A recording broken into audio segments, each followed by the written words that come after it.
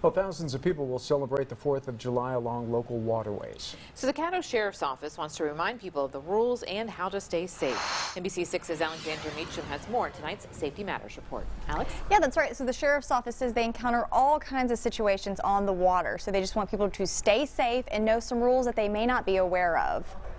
If you're hitting the high seas of the Red River for this 4th of July, the Caddo Sheriff's Marine Patrol will also be out enjoying the fireworks while checking for reckless boaters who can be ticketed. Make sure that when you come out on the water, you drive professionally, you drive correctly. He says first, make sure your boat is working properly and you have the right equipment. You don't want to break down to break up your fun. But deputies will come get you. They're more than welcome to call the sheriff's office and we will tow them to the closest launch. It's also important to know the river, pay attention to the channels, and look out for the sandbars. Also, life jackets save lives, and it's law that you must have enough for everyone on board. 16 year olds must have them on and fastened properly when the boat is moving.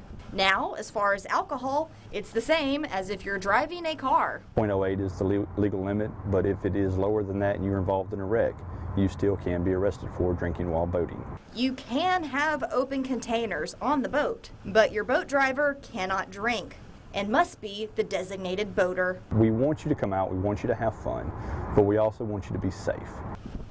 And the Red River, River will close tomorrow night at 9 between Texas Street and I-20 for the fireworks show, so boaters just won't be able to pass through that area during that time. Back to you. Thank you, Alex.